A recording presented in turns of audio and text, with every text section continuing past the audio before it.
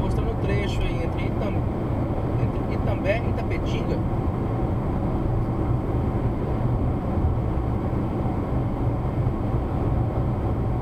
Uma tá pista mais, mais vazia, mas um visual bonito. Tem uns trechos com asfalto tá mais judiado, está mais velho, né? percebe que tem tempo que não se faz um trabalho de, manutenção. Olho de gato, colocação de, de placa, limpeza da- das obras de arte. Então você vê que é uma pista que tá, largada, viu? Já tem muito tempo.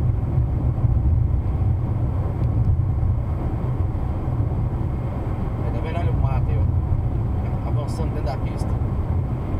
Então quando o mato já tá na situação que tem muito tempo, já não se limpa, né?